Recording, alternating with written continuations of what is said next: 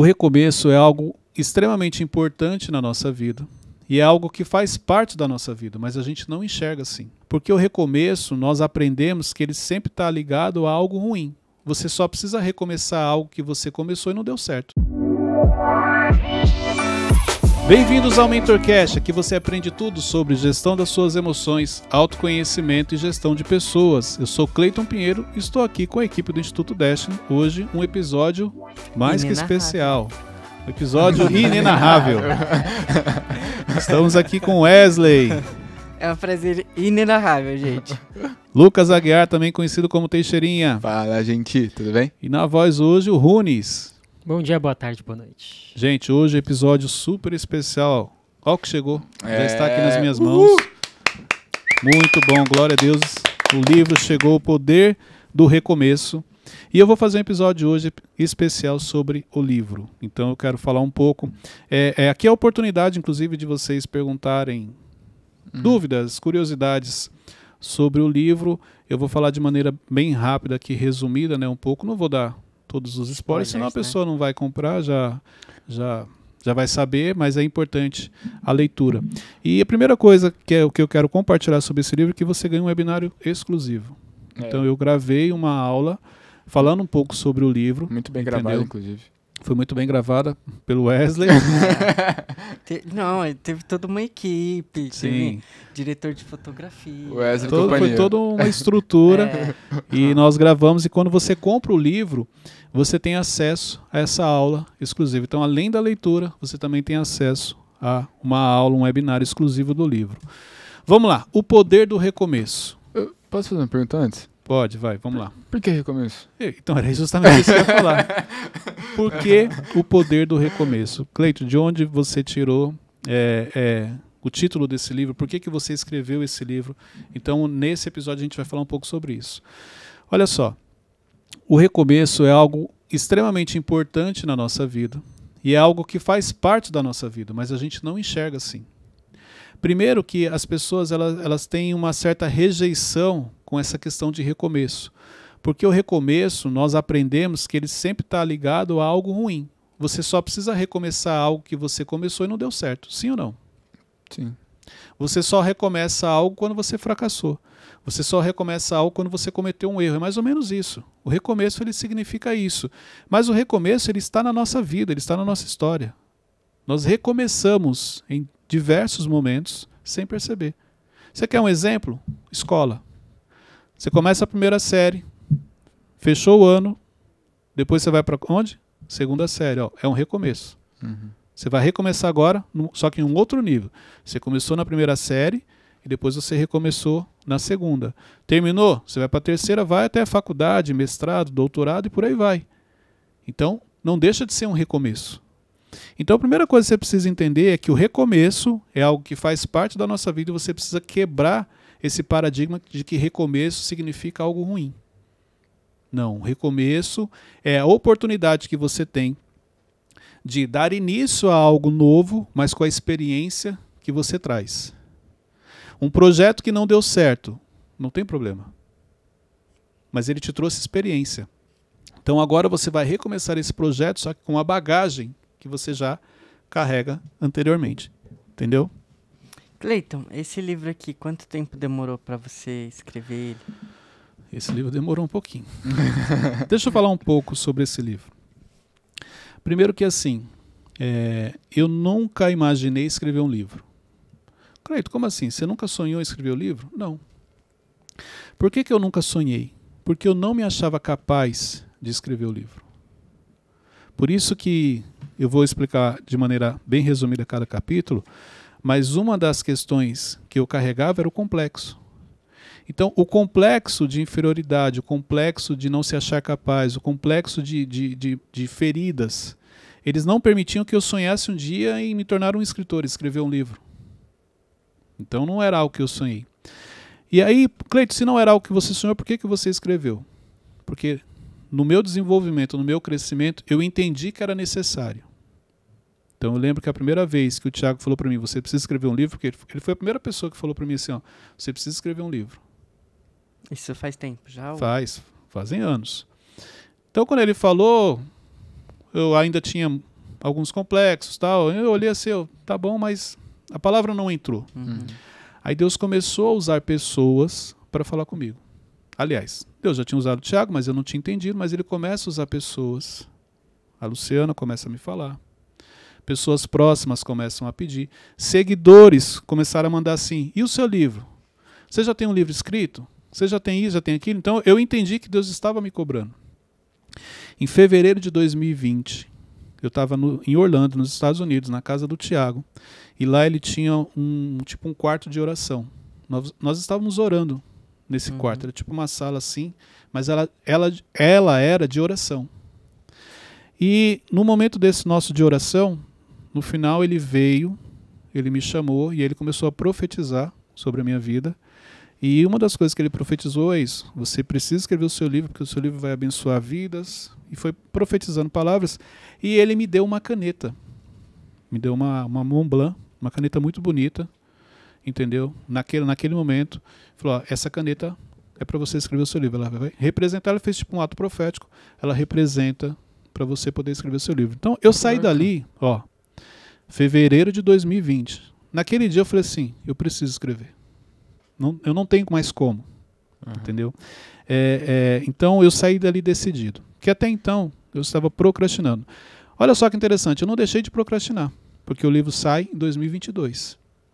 Durante esse período, eu comecei a procrastinar, mas aí de uma maneira diferente, porque antes eu estava procrastinando só falando. Então eu comecei a procrastinar, tipo assim, eu começava a escrever, aí não terminava. Tipo assim, começava a escrever um capítulo, na metade eu parava, aí não, não é isso. E eu não tinha ainda clareza Uhum. do que eu ia escrever. E aí até que eu falei assim, cara, eu vou falar sobre recomeço. Aí eu trouxe para minha vida. Eu falei, primeira coisa, eu preciso escrever algo que eu ah, em cima do que eu ensino, do que eu falo, que são coisas da minha vida, coisas que eu vivi, que eu superei. E aí surge o, o, o nome, eu sabia que eu ia falar sobre recomeço. E eu começo a escrever ele realmente, sabe quando? Em 2021. Numa viagem é, indo para Dubai. Nessa viagem eu fui na executiva. E aí você tem é um outro conforto, né, é diferente, então eu começo a escrever. Então, exemplo, o, o capítulo 1 era para ser o prefácio. Então eu comecei escrevendo o prefácio, só que assim, algumas pessoas quando leram falaram, Cleito, isso aqui é um capítulo. Porque só o que você compartilhou aqui é um capítulo. E aí, que era para ser um prefácio se tornou o capítulo 1, que era eu explicando sobre a importância do recomeço na nossa vida. Então, eu comecei mesmo a escrever esse livro em 2021, numa viagem para Dubai, que eu fiz. E aí foi engraçado, porque alguns capítulos eu escrevi no avião. Então, indo para Dubai, eu escrevi. Voltando de Dubai, eu escrevi. Indo para Israel, eu escrevi. E os outros capítulos eu, eu fiz na minha sala, que justamente o apartamento que eu comprei, quando eu entrei nesse apartamento, eu me deparei, eu vi, para mim foi assim, foi uma visão muito clara. Eu me vi sentado em frente a uma, é tipo uma janela, uma sacada que tem assim, toda de vidro no meu apartamento. Eu me vi sentado olhando para aquela vista, escrevendo meu livro. Então ele foi escrito nessa ocasião, no avião e sentado nessa sacada. Então, olha só, procrastinei, mas eu entendi que precisava. Porque tem momentos na vida que você não vai fazer o que você quer, você precisa fazer o, o que é necessário, aquilo que Deus está te direcionando. Uhum. Existe um propósito. E olha que interessante. Quando eu terminei de escrever o livro, eu, um- uma, uma das coisas que Deus falou para mim é o seguinte: esse livro representa uma nova fase na sua vida. Ele vai te abrir portas, ele vai te conectar com pessoas. Então, quando ele chegar, quando ele for lançado, vem uma nova fase na sua vida. E por que, que eu procrastinei? Por que, que eu demorei? Qual era a história que eu contava para mim? Porque eu queria fazer assim, o primeiro capítulo certinho. Eu queria colocar a base científica, uma base de estudo. Eu queria trazer um livro mais completo. Mas eu lembro que chegou um dia, por isso que o autoconhecimento é importante. Eu falei, peraí, é o meu primeiro livro. Por que, que a minha régua está lá em cima? Porque aí é uma mistura de procrastinação com perfeccionismo. Por que que meu primeiro livro eu tenho que já trazer um livro completo, vamos dizer assim? Aí o que, que eu fiz? Eu decidi, falei, não, eu vou escrever o que está no meu coração, do meu jeito, porque esse era um problema. Eu escrevia uma frase e eu ficava pensando assim, a Luciana que eu mandava, sempre mandei primeiro para ela. Eu mandava para ela, ela falava assim, ah, essa frase aqui tá fora, é, isso aqui tá, é, você está repetindo a mesma coisa, está sendo redundante. E aí ela, ela começava a me corrigir, e aí, então eu queria já mandar para ela de uma maneira que ela não me corrigisse. Mas eu, eu entendi que não ia adiantar. Falei, quer saber? Eu vou escrever do meu jeito, o que está no meu coração, o que eu quero falar. E aí eu mando para um editor. Então eu escrevi do meu jeito, e eu mandei para um editor para ele corrigir, fazer a parte da correção e colocar na linguagem necessária. E foi assim que ele, que ele saiu. Então, enquanto eu quis fazer certinho, ele não saiu. No dia que eu decidi, que eu entendi que era o primeiro livro, que eu precisava trazer ele numa linguagem simples, porque é isso que eu busco para as pessoas, uma linguagem simples para que ela entenda. Aí sim, eu comecei a escrever ele. E foi coisa assim, ó, de quatro, cinco meses, o livro estava pronto.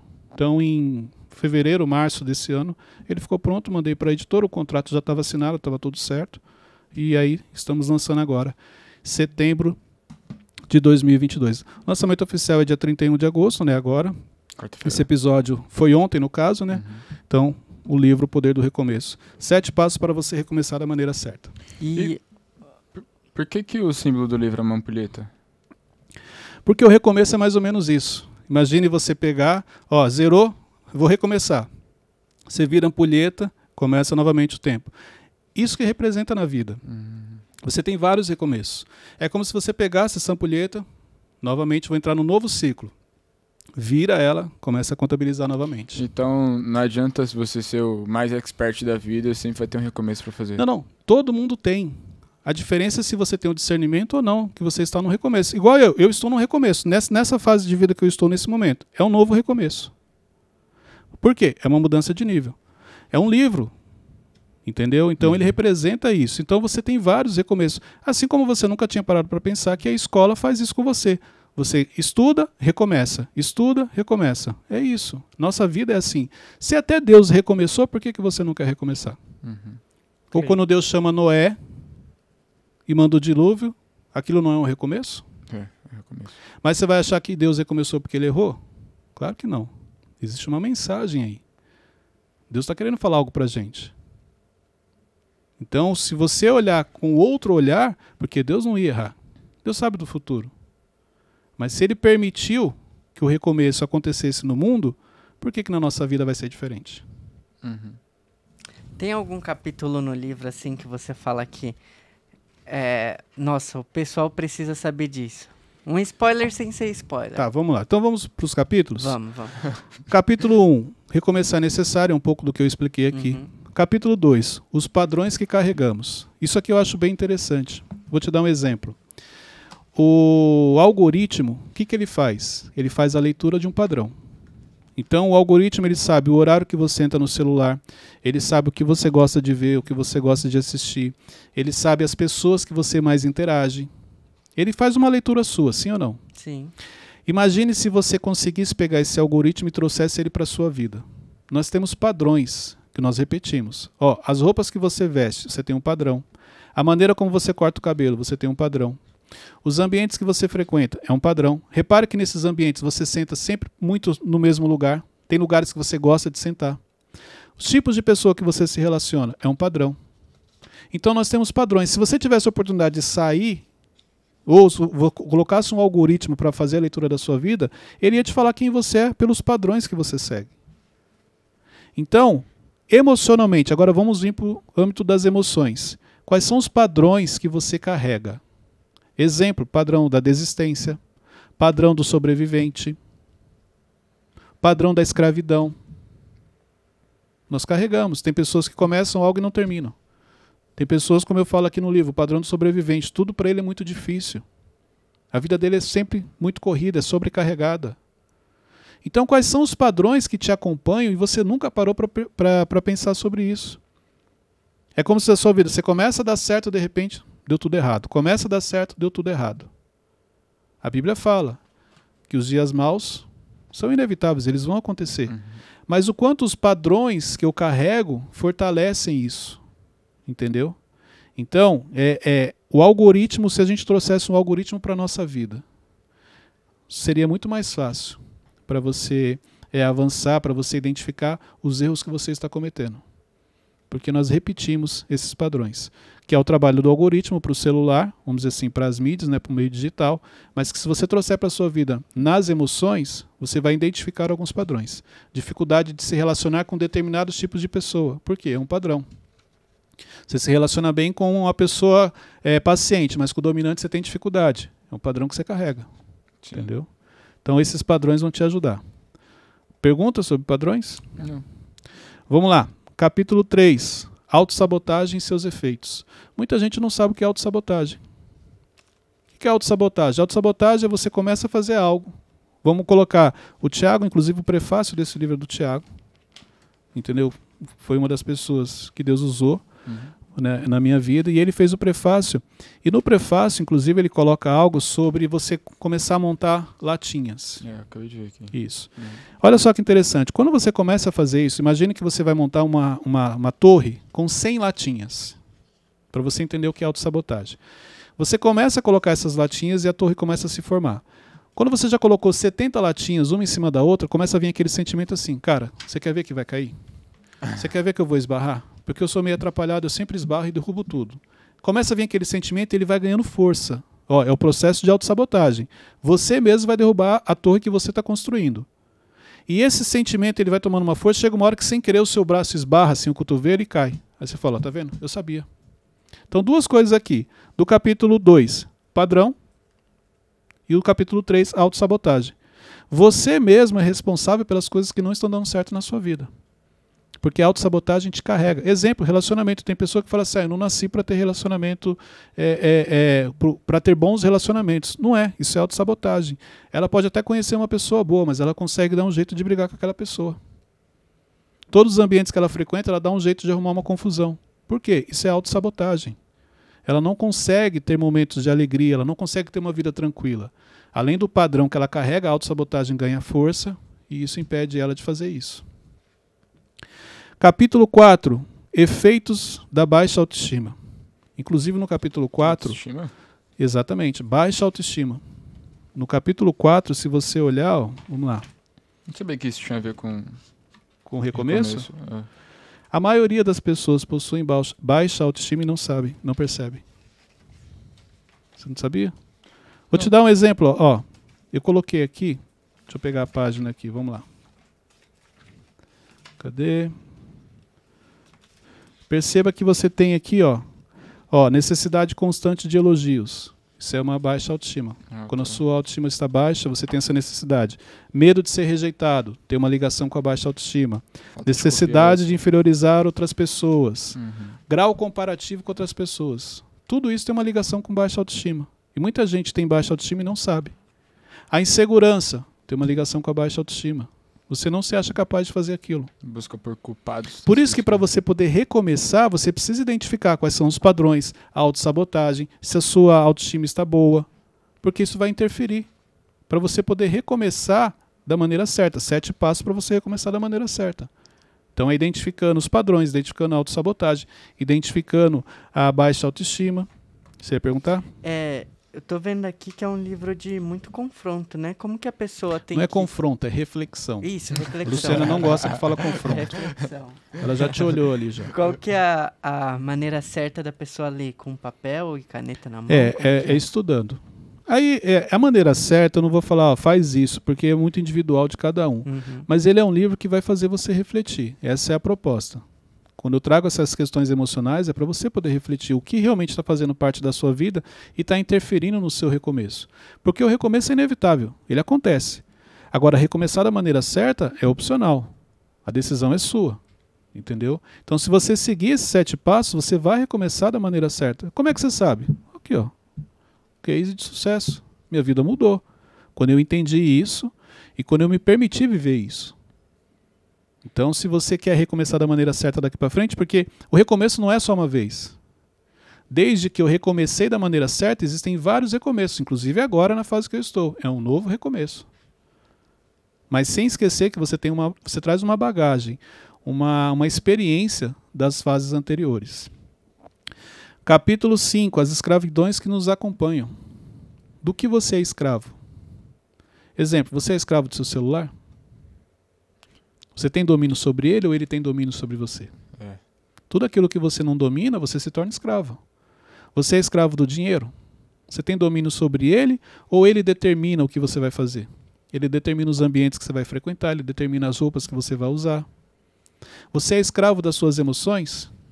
Você tem um domínio sobre elas ou elas influenciam nas suas decisões, no seu comportamento e por isso você não está nos ambientes que você sonha ou não conquistou ainda aquilo que você estabeleceu como objetivo para você? Porque a escravidão te acompanha e você nunca percebeu. Então eu explico um pouco sobre a escravidão e como se libertar dela. Porque se você não se libertar da escravidão, não tem como você avançar. Não tem como você crescer. Então, quais são as escravidões que te acompanham e elas interferem direto em todos os seus processos de recomeço? Eu falo um pouco mais nesse livro. E o capítulo 6, os efeitos do medo. Acho. Principal. Fala até sobre fase. Uhum. Começa na insegurança. Chega uma hora que ele te domina. Quantas coisas você sonha em fazer, mas você não tem coragem? É. Quantas coisas queimam no seu coração e você não, não consegue? Eu era introvertido. Na minha introversão, você acha que era fácil falar em público? O medo dominava. Porque emocionalmente eu era escravo das minhas emoções. Uhum. Mas quando eu decidi, quando eu entendi, primeira coisa, você não vai eli- eliminar o medo da sua vida, você precisa aprender a lidar com ele. Até porque ele te traz uma reflexão, e isso que a gente chama de prudência. Então a prudência é necessária. A prudência, ela faz parte da nossa vida, assim como a sabedoria. A prudência habita com a sabedoria. Agora, o medo não. O medo só tem uma função, que é te paralisar. Você não pode se permitir ser dominado por ele. Então, por isso você precisa aprender a lidar com ele. Por isso que eu coloquei ele aqui, dentro do livro, como um dos sete passos para você poder recomeçar da maneira certa.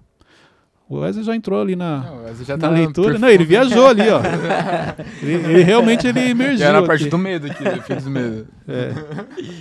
Não, tá muito bom. Baixa autoestima. Teve uma história aqui no, na do medo que eu comecei a ler, já vou. É. Se você não me, me corrigir, você ia ficar aqui. Não, ele ia ficar, eu percebi. E o sétimo capítulo que é o recomeço perfeito. E qual que é o recomeço perfeito? E é assim, ah, mas você vai dar spoiler? Não, eu preciso falar, porque independente, você só vai entender realmente como, como aconteceu esse recomeço perfeito na minha vida quando você começar a ler. O recomeço perfeito é aquele que você faz diante de uma direção que Deus te dá. É o recomeço com obediência. É o recomeço, sabe aquela oração? Senhor, que seja feita a tua vontade na minha vida? Esse é o recomeço perfeito. É quando você se permite realmente viver aquilo que Deus tem para você. Porque foi assim que mudou a minha vida. Quando eu me permiti viver o que Deus tinha para mim.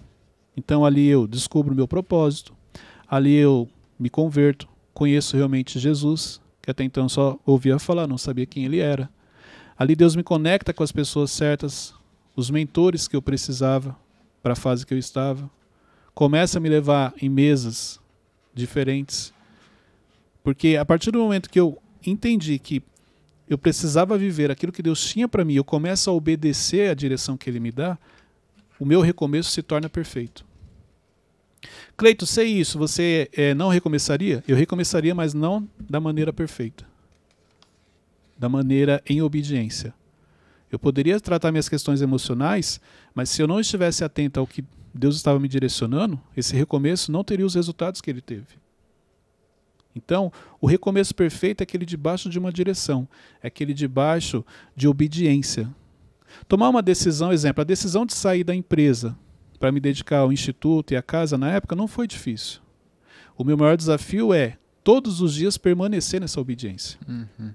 Todos os dias entender o que é para ser feito. Então, o recomeço perfeito é aquele momento em que você se permite viver o que Deus tem para você. Uau. É o que você se permite é, estar sensível à voz dele e fazer coisas. Duas coisas acontecem no recomeço perfeito, isso aqui é importante. Deus vai te pedir coisas que você não quer fazer e Deus vai pedir coisas para você que não faz sentido. Fique tranquilo, porque é sinal que você está no caminho do recomeço perfeito. Por que não faz sentido? Porque a glória é dele. Ele não divide a glória. Por que você não quer fazer? Porque tem uma ligação com o seu propósito. Você acha que eu queria falar em público? Você acha que eu queria dar treinamento? Você acha que eu queria estar ministrando? Não, por causa da minha introversão. Uma questão emocional impactava direto no meu propósito. Então, quando ele começa a me pedir para fazer isso, eu não queria, mas eu entendi que eu tinha que fazer. Então eu tinha que vencer os meus complexos, eu tinha que vencer a autossabotagem, tinha que vencer a procrastinação, tive que vencer o medo para poder cumprir meu propósito. Debaixo de uma direção, debaixo de obediência. Cleiton, no momento que você de decide começar a escrever o livro, como você já comentou, teve algum momento, ou algum capítulo, alguma coisa que, que foi difícil para você? ah, esse capítulo foi o mais complicado porque eu lembrei disso, eu tive que recomeçar muitas vezes nessa área? Não, porque eu deixei fluir.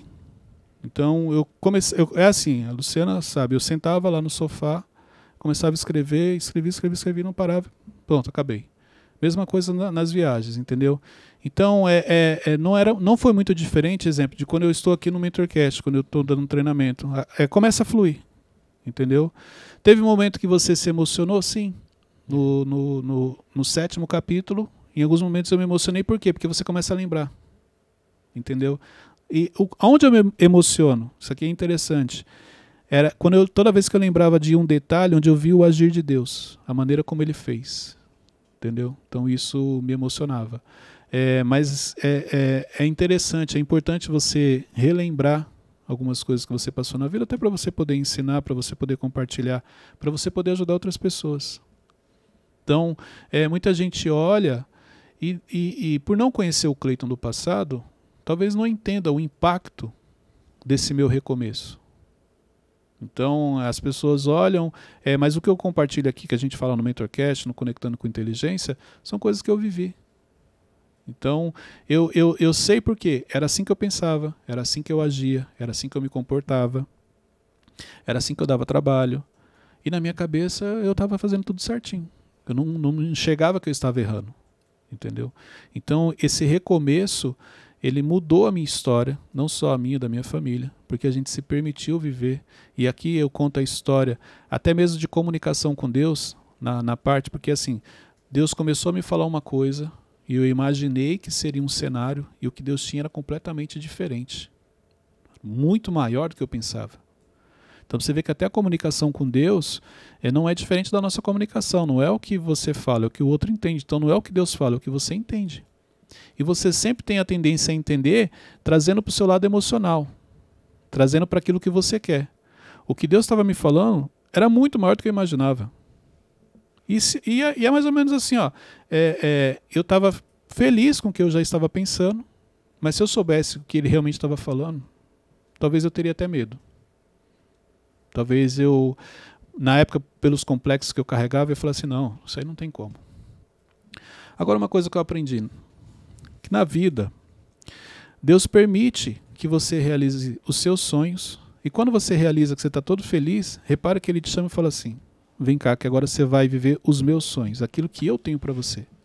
Você está feliz com o que você ganhou? Você está feliz com o que você conquistou? Você não tem noção do que eu vou fazer. Você não tem noção do que eu preparei para você. Você não tem noção dos sonhos que eu tenho para você. Você não tem noção do que está reservado para você. Pode reparar. Eu falo porque o que eu vivo hoje, quando é, profissionalmente falando, me realizei na última empresa. Mas o que eu vivo hoje, eu nunca imaginei. É realmente Deus quem me proporciona isso. Hoje eu vivo literalmente aquilo que Ele preparou para mim. Aquilo que eu sonhei, eu já realizei. Mas eu nunca imaginei que eu viveria que eu vivo hoje. Por quê? Porque eu me permiti viver aquilo que Deus tem na minha vida. Cleiton, e a partir do momento que você começou a escrever o livro, é, até aqui, você já passou por algum recomeço? Vários, vários. Do, do de, exemplo, essa fase agora que eu estou neste momento é um recomeço. É um recomeço. Existem vários tipos de recomeço. Existem, igual no meu caso, é um recomeço maior, mas existem pequenos recomeços no seu dia a dia. Exemplo, é um cargo novo. Pode ser considerado um recomeço pequeno para algumas pessoas ou um recomeço grande para outras. Conexões, ambientes que você começa a frequentar, podem representar um recomeço. Algo emocional que você trabalhou na sua vida, exemplo, você conseguiu se libertar de um complexo. A gente pode considerar um recomeço. Então isso aqui é importante. Eu falo sobre o complexo de inferioridade no livro. Também você vai aprender sobre isso. Então aí você tem que entender, existem vários recomeços. Quando chega um projeto novo, é o recomeço. Você, quando você olha para o recomeço como algo que faz parte da sua vida, cai a ficha de que ele sempre te acompanhou, Aí você vai buscar o recomeço perfeito. Você entendeu? Então ele faz parte, mas o recomeço perfeito só vem quando você tem um entendimento. Aí sim. Vo- Você considera esse, esse livro, O Poder do Recomeço, como um manual para a pessoa entender os processos do, do recomeço na vida? É, eu trouxe aqui sete passos que, que aconteceram comigo e que emocionalmente acontece com a maioria das pessoas, principalmente para quem não tem um conhe- autoconhecimento mais aprofundado, entendeu? Então você vai, vai falar assim, Cleito, a gente pode trazer como manual? Pode. Por quê? Porque como são sete passos, é, pode ser que você esteja fazendo quatro e deixou de fazer três. Daqui a um ano, você vai estar fazendo dois e esqueceu de fazer cinco, entendeu? Então, sim, é um livro que você pode ler várias vezes, porque ele vai estar sempre te trazendo à tona coisas que você já aprendeu, mas esqueceu, deixou de aplicar. Então ele vai sempre te trazer aquele alerta, olha, como é que está a autossabotagem? Como é que está a procrastinação na sua vida? Como é que está a sua autoestima? Como é que está a sua obediência? Então ele se torna um manual por isso, porque você pode ler ele várias vezes e ter o entendimento. E outra coisa in- interessante sobre isso é que, com a mentalidade que você tem hoje, você vai ler esse livro, você vai entender uma coisa.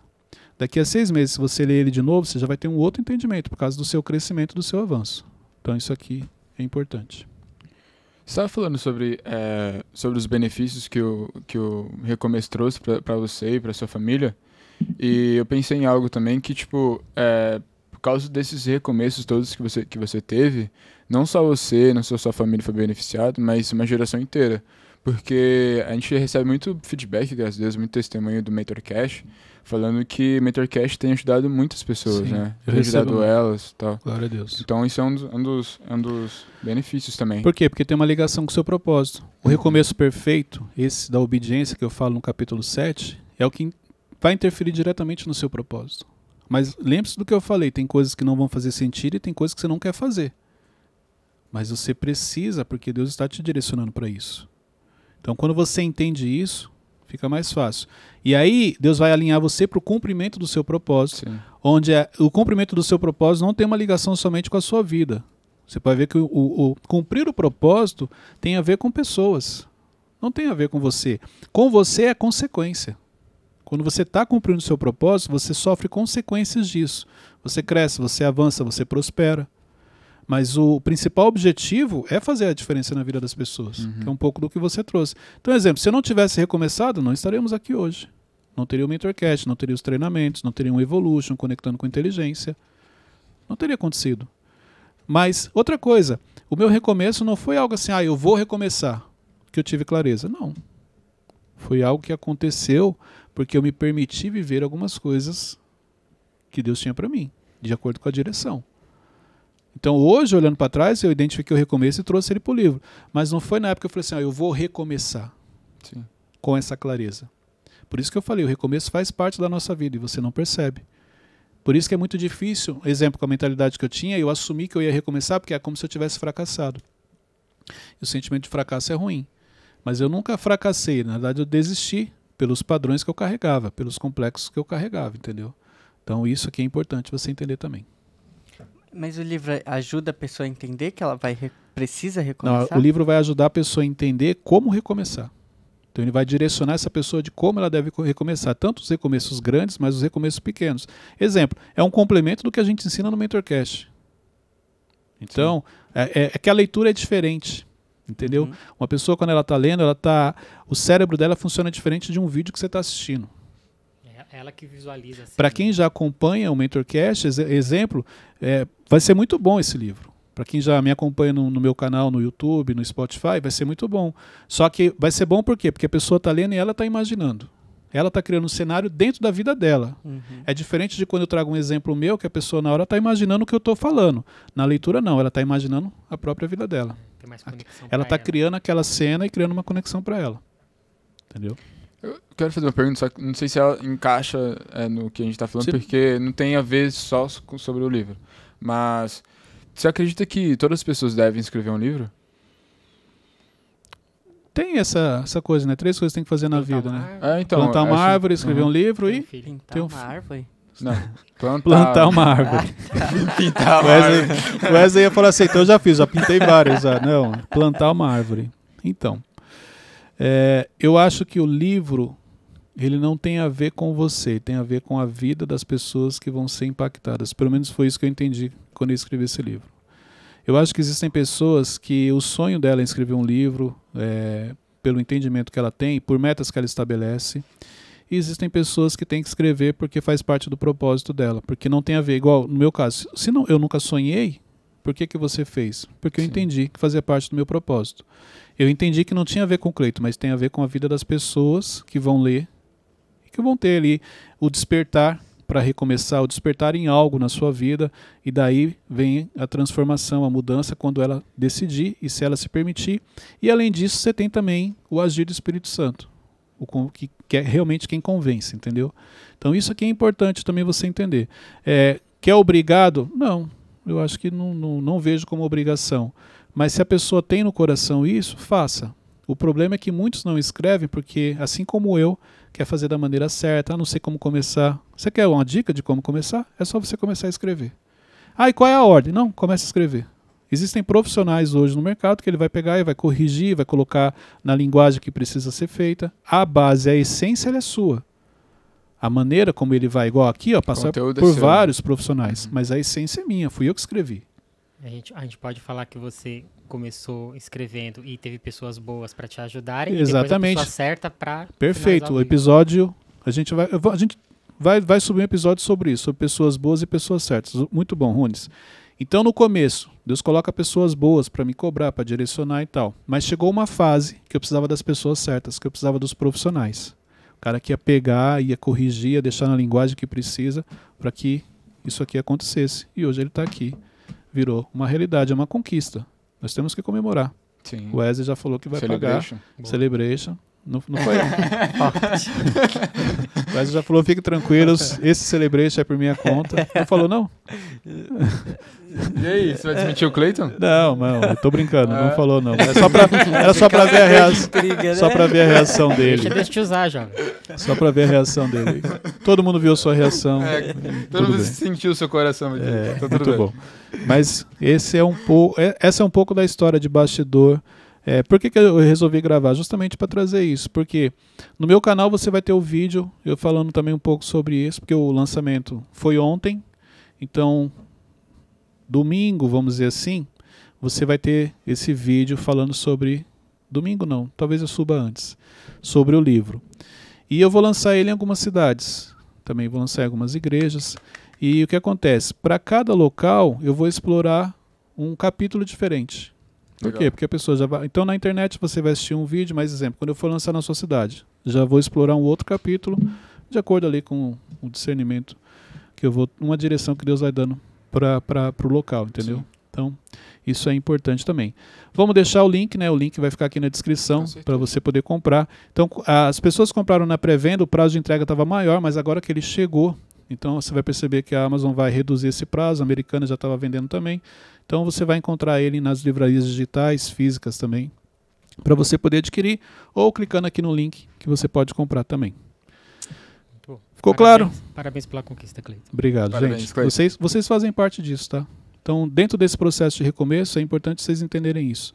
Dentro do meu processo de recomeço, vocês são pessoas que Deus colocou na minha vida para me abençoar, para me direcionar, para me ajudar. Talvez vocês não tenham noção do quanto vocês me ajudam, mas vocês fazem parte disso. Ah. Obrigado. É verdade. Completa o coração aqui. Muitas vezes a gente não. Você se empolga, mano. Se empolga.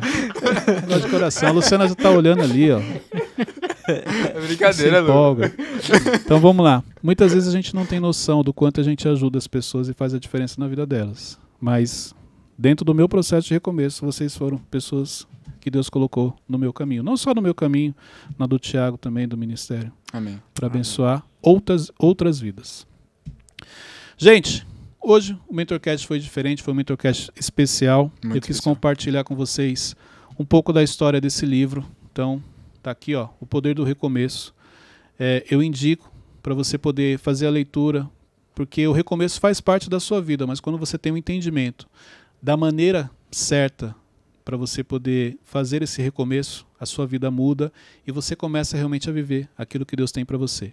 Então, envie esse link para o máximo de pessoas, para que elas também possam entender a importância do recomeço, comprar o livro e poder viver aquilo que Deus tem para cada um.